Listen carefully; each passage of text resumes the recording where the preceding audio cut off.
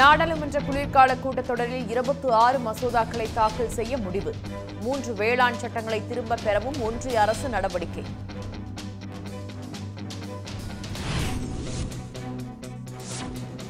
அனைத்து தனியார் கிரிப்டோ கரன்சிகளுக்கும் வருகிறது தடை.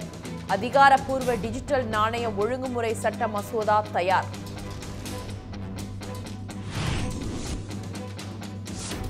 வடகிழக்கு பருவமழை தீவிரம் குறித்து முதலமைச்சர் இன்று ஆலோசனை.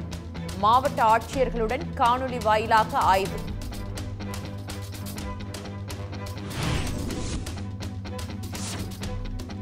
தஞ்சை திருவாரூர் வேலூர் கடலூர் மாவட்டங்களில் மழை பாதிப்புகள் குறித்து ஆய்வு. முதலமைச்சர் மு க ஸ்டாலினுடன் ஒன்றிய குழு இன்று ஆலோசனை.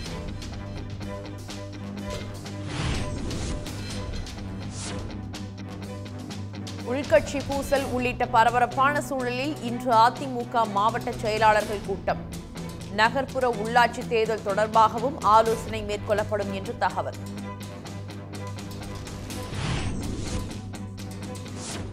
சேலம் அருகே சமையல் எரிவாயு சிலிண்டர் வெடித்ததில் மூன்று பெண்கள் உட்பட ஐந்து பேர் உயிரிழப்பு. உயிரிழந்தவர் குடும்பத்தினருக்கு ஐந்து லட்சம் ரூபாய் நிவாரணம் அறிவிப்பு. ஜெயலலிதாவின் மரணம் குறித்து விசாரிக்க இருநபர் விசாரணை ஆணையத்தை அமைக்கலாம். உச்சநீதிமன்றத்தில் தமிழ்நாடு அரசு விளக்கம்.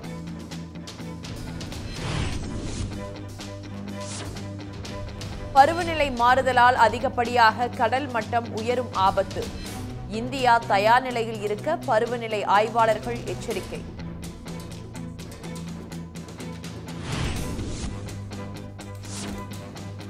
தமிழ்நாட்டை நோக்கி நகரும் காற்றழுத்த தாழ்வு பகுதி. மதுரை விருதுநகர் ராமநாதபுரம் உட்பட ஏழு மாவட்டங்களில் கனமழைக்கு வாய்ப்பு.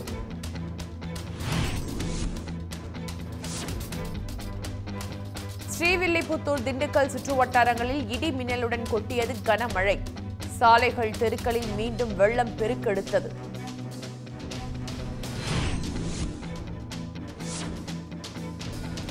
ஒரு கிலோ தக்காளியை எண்பத்து ஐந்து ரூபாய் முதல் நூறு ரூபாய் வரை விற்க முடிவு.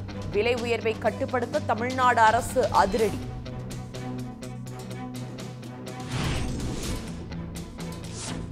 தருமபுரி அதிமுக மருத்துவர் அணி நிர்வாகி தப்பியோடி தலைமறைவு. எம்பிபிஎஸ் படிக்காமல் ஆங்கில மருத்துவம் பார்த்தது அம்பலம்.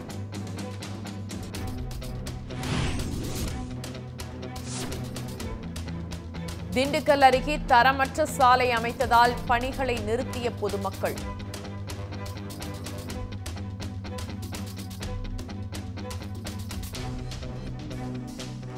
ஊராட்சி ஒன்றிய அலுவலகத்தை முற்றுகையிட்டு கிராம மக்கள் புகார்.